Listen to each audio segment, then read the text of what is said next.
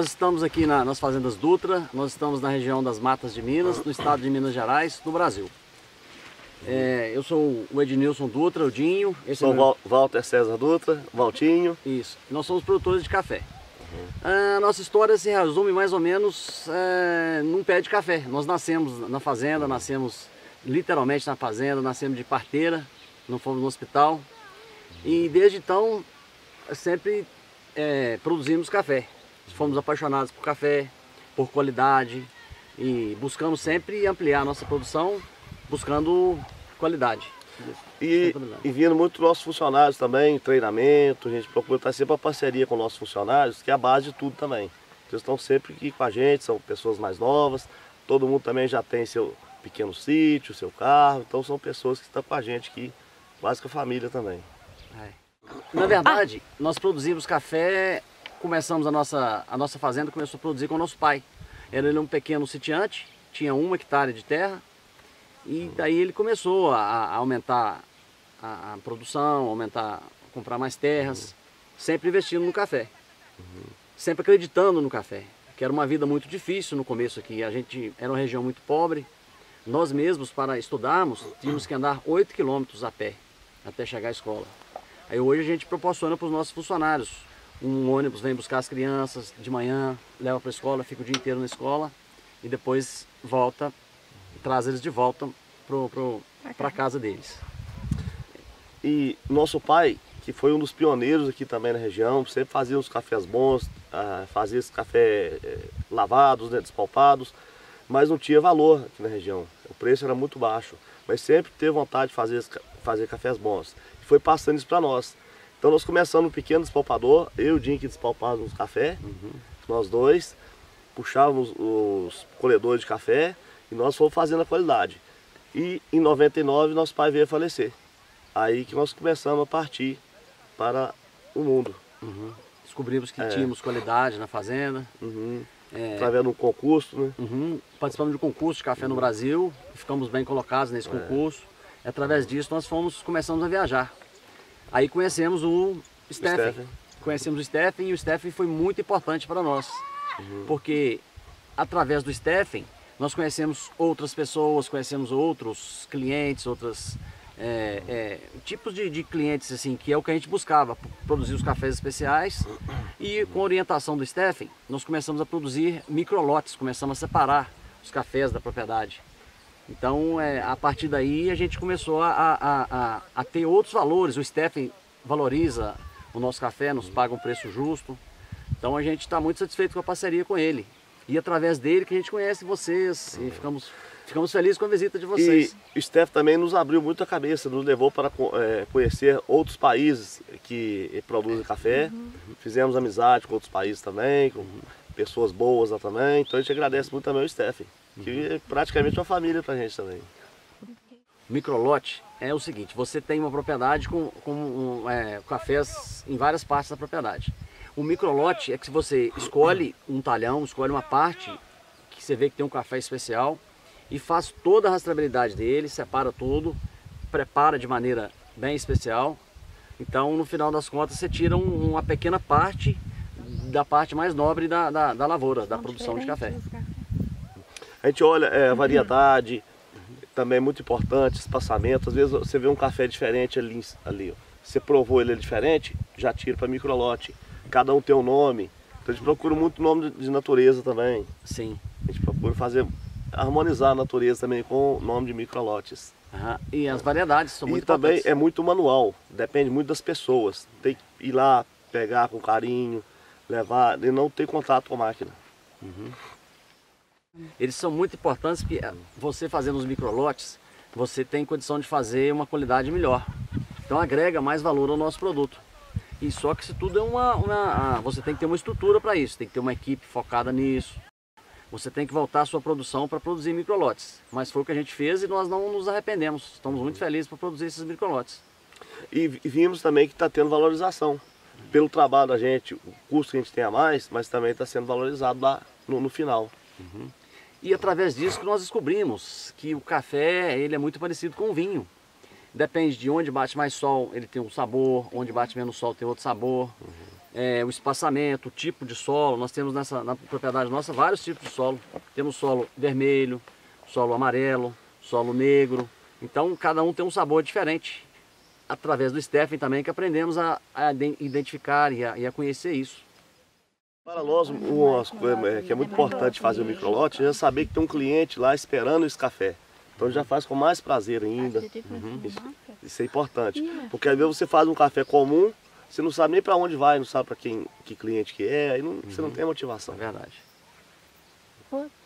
E qual que é a diferença no mercado de um microlote para o café comercial comum? Diferença de preço ou diferença de... A, diferen... a diferença é muito grande, igual como o, o te explicou. Você já colhe sabendo para quem que você vai vender esse café, sabe que é um cliente diferenciado, o cliente final que vai tomar ele na xícara também vai valorizar isso. Então ele realmente tem uma valorização muito maior do que o café comercial comum ele, é, ele ajuda a gente, no, nos, tem um custo mais elevado para ser produzido, porque tem que, ser, tem que fazer com mais cuidado, dá mais trabalho, mas é valorizado, vale a pena sempre fazer microlote sim. Porque o café é, commodity, o comum, hoje pode ser um preço, amanhã é outro, então uhum. aí você fica, é muito inseguro para você produzir assim. E o microlote ele mantém, mantém um, preço um, preço estável, é. então é uma segurança maior para a gente que produz. Uhum que, que o Stephen faz realmente?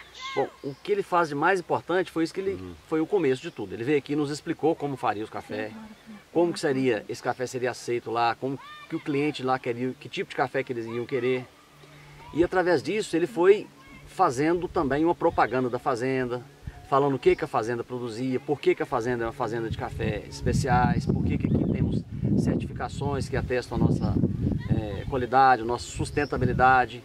Então o que ele faz de mais importante é justamente essa ponte, porque é muito difícil o produtor aqui no Brasil chegar diretamente no, no, no consumidor lá na, na, Europa, por exemplo. Como que é muito difícil para a gente sair lá e, e, procurar e achar. Então ele faz, na verdade, ele faz essa ponte. Ele, ele encontra os consumidores, explica o que, que é e chega para nós também e explica. Então ele faz esse, esse intercâmbio. E teve muitas vezes na fazenda, participou com todos os funcionários, conhece todo mundo, então ele uhum. fez um trabalho muito importante aqui. Fazemos o máximo que possível que a gente pode fazer, a gente faz. Até as capinas nossas, a gente usa muitas maquininhas, faz tudo em curva de nível. A gente procura sempre harmonizar com a natureza. É, e a verdade é que a gente vive da natureza. A natureza é a nossa fonte de renda. É, e a gente quer extrair nosso sustento da natureza, mas a gente quer deixar a natureza preservada para as próximas gerações. Então a gente trabalha, mas uhum. é, buscando lucro, mas sempre pensando em preservar a natureza e deixar a, a natureza, a deixar a nossa, é deixar a natureza a vontade, né? a vontade, é, né? para as próximas gerações. A gente, a nossa filosofia é essa e sempre foi do nosso pai também. Uhum. Já era a filosofia de produzir sem agredir a natureza, é, preservando a natureza. E para nós a fazenda fica de portas abertas receber todo mundo, igual vocês que chegaram aqui, né? Uhum. Via lá da Bélgica direto para cá para ver uhum. como é que tá a fazenda. A gente tem orgulho de mostrar. The fact that they care so much about nature and do they feel that what they do to preserve it has an influence on the quality of the coffee? O que vocês fazem para preservar a natureza, vocês acham que tem alguma influência na qualidade do café? Muito. Acho que tem muita influência. A preservação da natureza, ela agrega valor a, a, em todos os sentidos. Você preservando o solo, um solo mais rico, com certeza vai produzir uma fruta melhor. Uhum. E como a gente tenta fazer uma agricultura aqui com poucos, é, é, mais ecológica, uma agricultura que a gente usa, não usa é, produtos, muitos produtos químicos, com certeza o café sai diferenciado sim. É, ele influencia muito na qualidade. Primeiro, muito é respeito por eles, né? né? Muito respeito, que eles também são um dos principais aqui. E a gente está sempre conversando com eles também a questão de preservação da natureza. Eles vão preservar. E, na verdade, eles, né, a gente não trata os nossos funcionários como empregados, eles são nossos parceiros. Eles fazem parte de todo o processo e a gente tenta crescer e tenta é, passar isso para eles também, que eles também têm oportunidade de crescimento.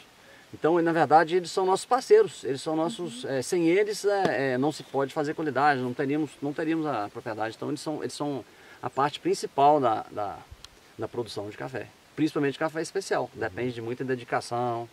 Então eles são, nós realmente temos uma equipe uhum. muito boa. Gostamos de ver nossos funcionários felizes. É, é. também.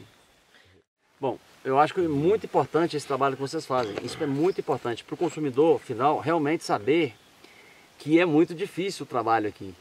Aí é um trabalho que a gente faz com muito amor, com muito carinho, porque nós realmente gostamos do que a gente faz, a gente é apaixonado pelo que a gente faz. Mas até chegar na xícara, até chegar na Europa, é um longo trajeto, é um longo trabalho. E isso a gente fica muito feliz quando vem, quando pessoas como vocês vêm aqui registrar e mostrar isso para o consumidor final. A gente fica muito feliz com isso. Nós conseguimos fazer plantinha, pega a sementinha, nós fazemos a plantinha, vê aquela plantinha, escolhe um lugar diferenciado para ela. Então a gente procura estar sempre fazendo tudo com muito amor mesmo. A gente gosta muito. E o que a gente é, gostaria de deixar de mensagem é que, que, a gente faz com muito carinho.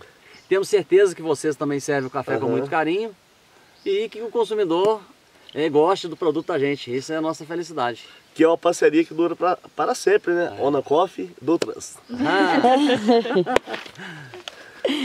Não. E gostaríamos também, se qualquer cliente de vocês quiserem vir aqui, é um podem vir.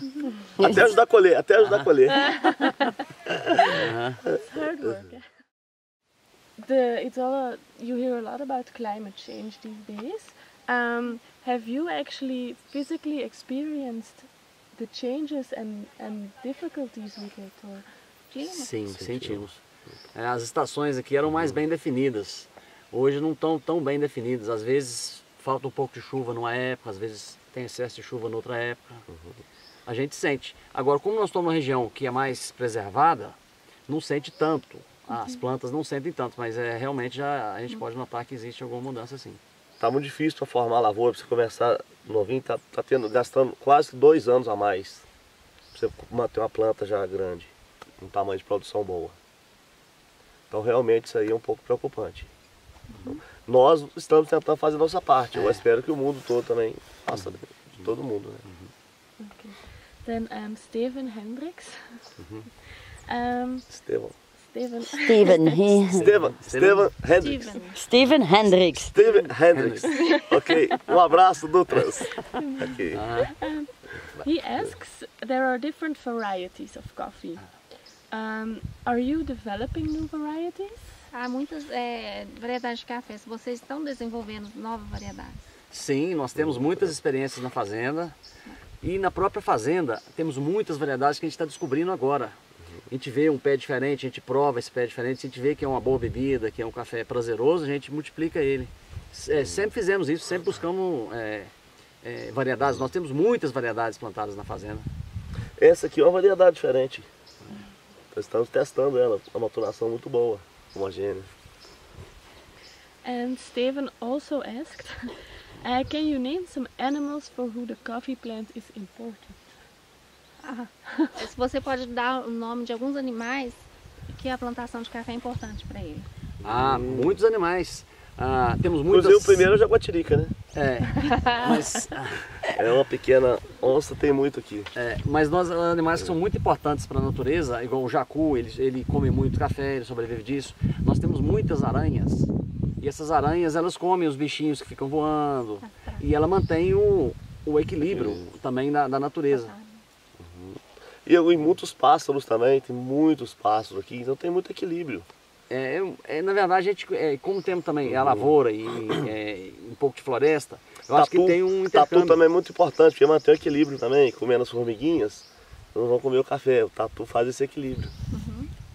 Inclusive que também chama tatu. é, tatu. Uhum. Tatu. É. uhum. And then the last question from Genia Bisorek. Bisiorek? Bisiorek. Genia Bisiorek. Um, ah, okay. Uh-huh. Uh, what are the factors that influence the taste of coffee? But not, we know that roasting is very important, but she's more Before asking about... Um, yeah. Uh, Quais são os fatores que influenciam o, o gosto do café? Claro que tirando a torra. Muitos fatores. Uhum. A, a, a, onde o sol bate na manhã, onde o sol bate à tarde, a variedade do café como ele é preparado, se ele é preparado descascado, se ele é natural, se ele é CD, se ele é, se ele é fully washed. Então, o modo de preparação influencia, aonde a planta está tá plantada influencia, o solo influencia, o... A altitude também influencia. Também. É principal. Ah, são vários fatores, muita é. coisa influencia no produto final. E até o tratamento da lavoura. É, E o carinho também influencia bastante. Fazer com carinho ele fica mais gostoso. Okay.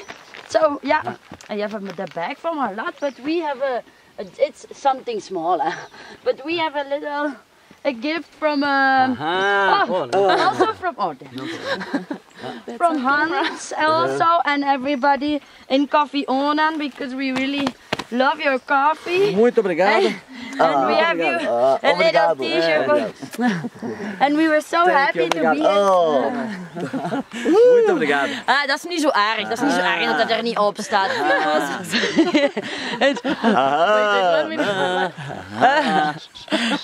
Hey, but if we can take a picture maybe with us and the t-shirt on, it would be great. Pode? Pode? Tira casaco.